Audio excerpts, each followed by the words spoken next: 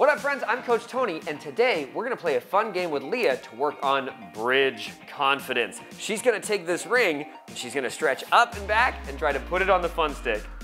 Beautiful! This is a great way to prepare yourself for backwards skills and drills. Amazing! Find some fun.